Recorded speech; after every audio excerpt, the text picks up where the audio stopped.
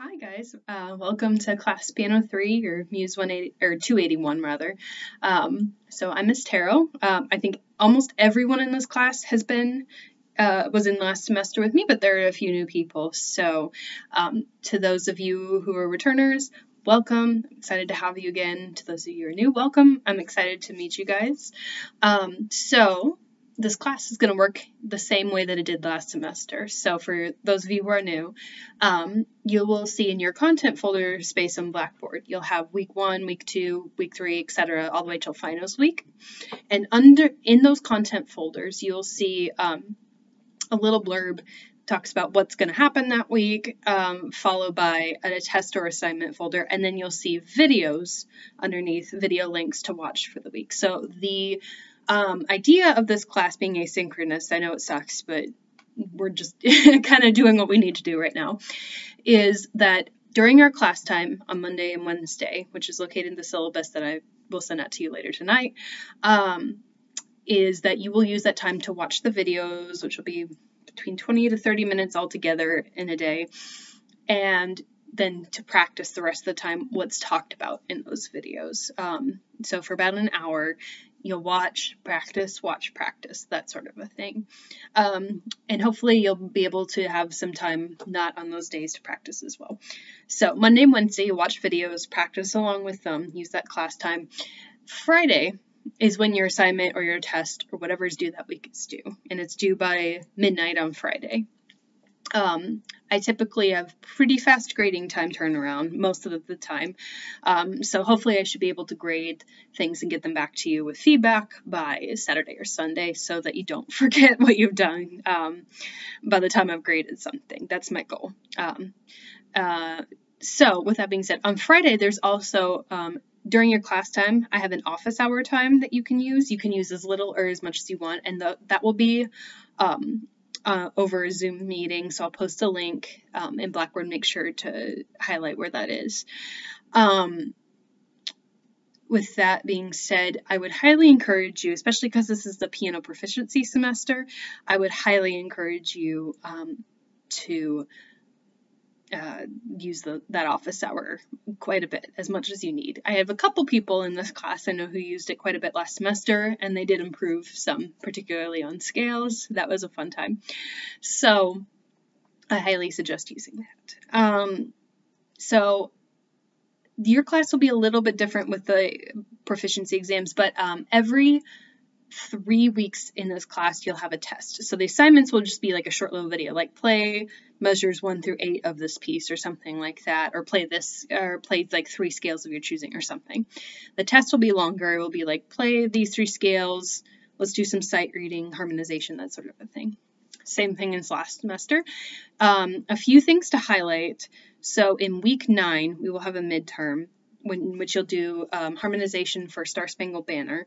Um, and in in addition, you will also be playing two short compositions, intermediate level compositions that you're going to use for the piano proficiency exam, so that way you can kind of get a grade on them and see how you stand. Then in week 11, you will take the prepared part of your proficiency exam. As of right now, um, that is going to be the two compositions, not memorized. That's a big change from last semester. Um, and then scales. Um, we are debating on whether to put scales back right now, but I will have a definite answer for you for that by week two. Um, regardless, week 11 is the earliest you'll be doing your scales. We will also spend a good chunk of the semester, starting around week three or so, dealing with sight reading. Um, so a lot of times, sometimes for your assignments, you won't know what it is until Friday morning, and I will send out a mass email that says, Hey, for this week's assignment, I want you to spend like 30 minutes trying to play through um, this short musical example on page whatever in your books, and you will sight read through that and then record yourself because sight reading is a big portion of the exam. That will take place during finals week. Dr. Minchetti and Dr. Rowe will also be there. Um, and it will be held over Zoom, obviously, with a distance format. Um, you will uh, be doing open score reading. Um, we'll see if we can get to three voices, but definitely two voices at once. So we will also practice that. In addition, we'll do some sight harmonization and then we'll do like a little sight reading and then like transposing that for some easy things. So those will be our focuses.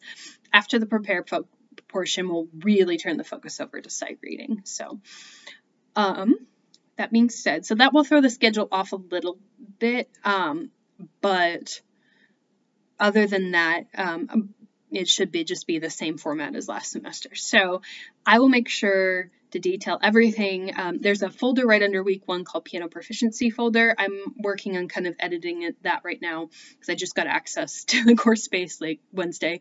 Um, I will make sure to update everything in there um, and hopefully have everything that I need to have in there by week two and make sure that's really solid for that.